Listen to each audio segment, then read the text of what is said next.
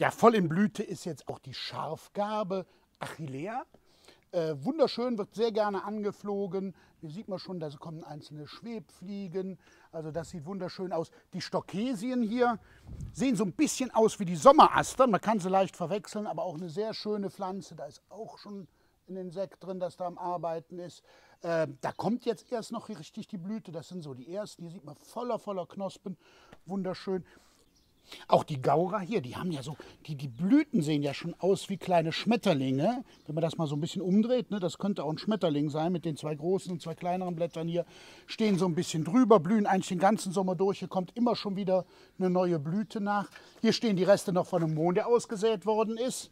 Die Kapseln sind schon fast reif. Man kann das mal hier aufmachen. Ich weiß nicht, ob man so schön sieht. Da kommen schon die Samen raus. Wenn ihr mal den Hut wegmacht, da stecken ganz viele Mohnsamen drin.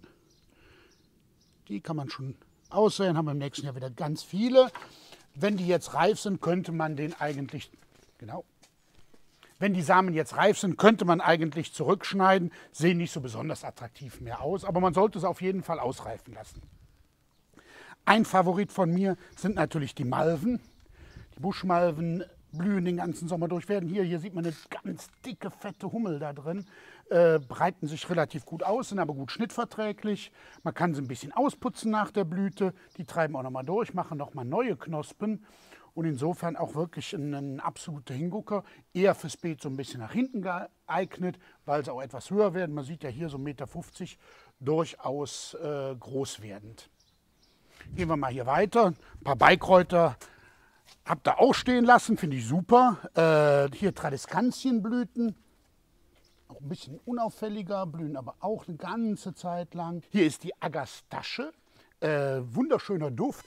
Die Blätter, wenn man die mal, mal äh, riecht, da meint man schon, es ist wie eine Minze. Es ist auch verwandt mit denen, es sind vierkantiger Stängel und da auch unheimlich viele Insekten hier, die Hummeln mit da drin, werden sehr, sehr gerne angeflogen. Eine lange Blütezeit, überaus attraktiv.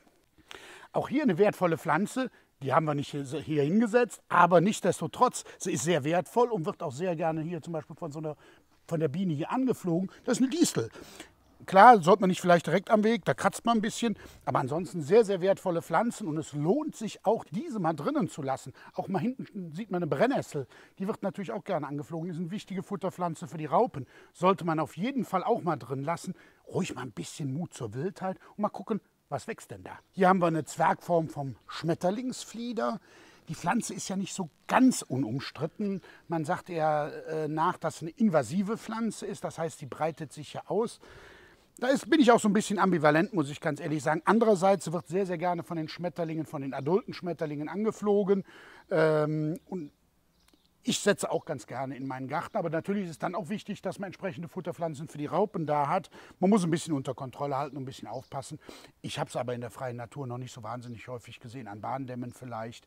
Ähm, aber man muss ein bisschen aufpassen. Okay, dann kommt hier die Monarden, Monarda. Ähm, die heißt Indianernestel genau. Ähm, sehr schöne Pflanze, die ist jetzt voll in der Blüte. Da kommt nicht mehr viel. Die kann man nach der Blüte nochmal abschneiden. Das ist eine remontierende Staude. Die kommt in der Regel nochmal nach und blüht dann auch nochmal. Hier ist natürlich unser Klassiker, der Lavendel. Auch sehr schön angeflogen. Hier, äh, also ich bin total überrascht, wie viele Insekten jetzt schon am frühen Morgen hier äh, am Pollen sammeln und am Nektar sammeln sind. Das ist Wahnsinn. Der Lavendel sehr schön, ist eine kleinere Form, wird nicht so wahnsinnig groß. Da ist es wichtig, dass man ihn nach der Blüte, wenn es wirklich alles abgeblüht ist, leicht zurückschneidet und schneidet und den richtigen Rückschnitt, den macht man dann im zeitigen Frühjahr, wenn er wieder beginnt auszutreiben.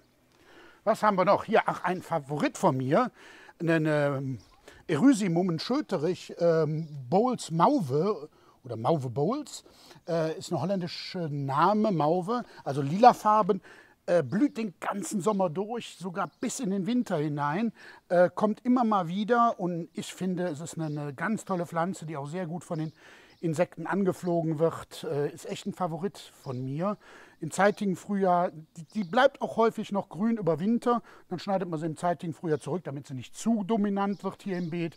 Aber eine wirklich ganz, ganz tolle Pflanze. Fängt früh an zu blühen und blüht fast acht, neun Monate lang.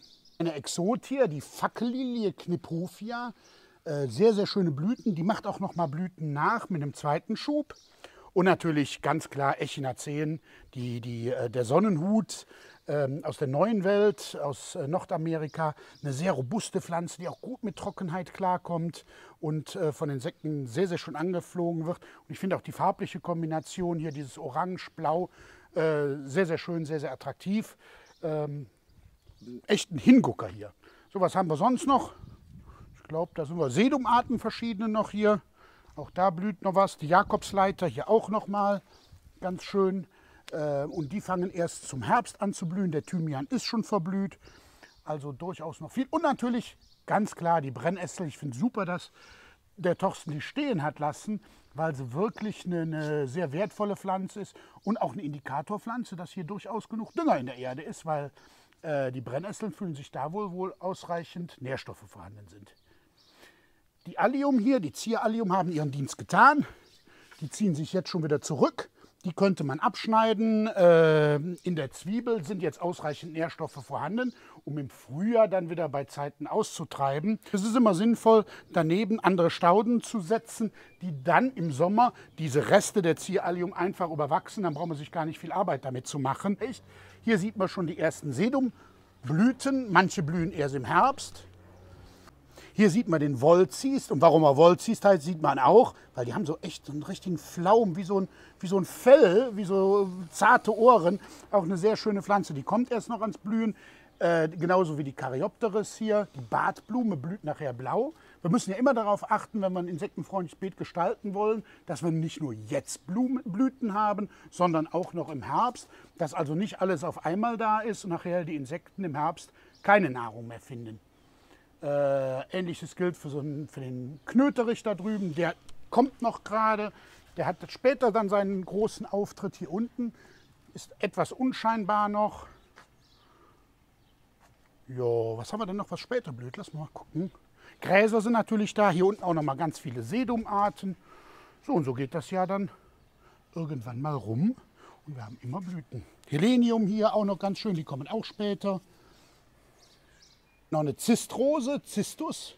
Das ist eine mediterrane Pflanze. Kommt aber auch, ja, die müsste langsam kommen. Hat eigentlich auch nicht so wahnsinnig gut angesetzt, finde ich. Sehr schöne Blüten. Hier unten, ach, jetzt immer noch Grasnelken. Die blühen ja auch von, von, ja, von April eigentlich schon an. Sehr fleißige Blüher. Man muss manchmal noch ein bisschen genauer hingucken. Ne? Hier ist nochmal der Mohn. Aber ich glaube, so langsam überall noch ein paar Gaurien, die da zwischenstehen, aber ich glaube, so langsam haben wir alles. Da hinten ist noch ein Knöterich, da ist noch eine Stockesie. Auch hier eine schöne Geraniumart, der sogenannte Storchschnabel. Und man sieht auch, warum sie Storchschnabel heißt, wenn man diese Frucht mal sieht. Die sehen so ein bisschen aus wie Storchenschnäbel, ne? wenn man so mal guckt. Klapper, klapper, hoffentlich kneift er nicht. Äh, aber ähm, eine sehr schöne dauerblühende Pflanze, die einen schönen Teppich macht und auch keine Beikräuter, Beigräser groß durchlässt äh, und eine ganz, ganz lange Blütezeit hat, finde ich ein Favorit für mich. Also die ganzen verschiedenen, es gibt noch andere äh, äh, Storchenschnabelgewächse, aber das sind echt für mich Favoriten im vorderen Bereich der Beete, die auch eine schöne Einfassung machen. Ja, und hier kommen schon bald die nächsten Blüten an. Das sind nämlich die Astern, die so im Spätsommer, im Frühherbst dann ihre große Zeit haben und dann, wenn sich die anderen Pflanzen zurückziehen, dann einfach sehr schön sind, sind der Thymian hier, da sind die letzten Blüten dran, der hat so langsam hinter sich, ähm, aber der ist sicherlich auch in den letzten Monaten ganz stark beflogen worden.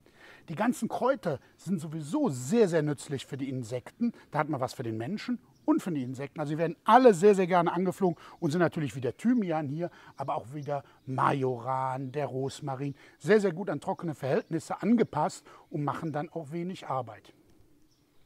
Ähnlich wie der Thymian ist der Phlox hier, das ist so ein, so ein Teppichflox, ähm, ist der durch mit der Blüte.